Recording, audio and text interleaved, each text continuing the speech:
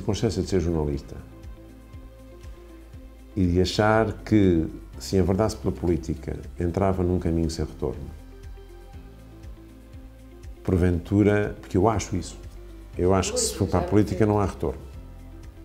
Bom, eu acho isso.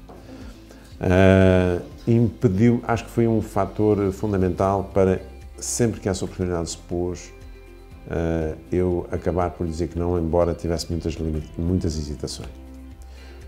Uh, não, não digo que fecho a porta a isso. Isso não lhe vou dizer que fecho a porta. Até porque posso vir a achar graça a isso. Também tem que ser franco. Uma coisa é, eu olho para a política, para os protagonistas da política hoje em dia, e não me sinto seduzido.